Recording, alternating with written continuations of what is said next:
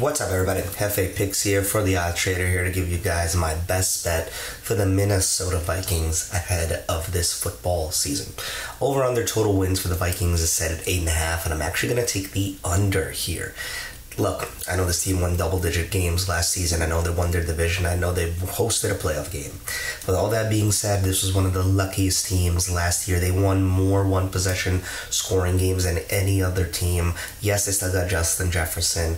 Yes, they still have Kirk Cousins at quarterback. They lost Dalvin Cook. Their defense got a little older. They also lost Adam Thielen. I just think this team is going to be less fortunate this coming season. Their division got better.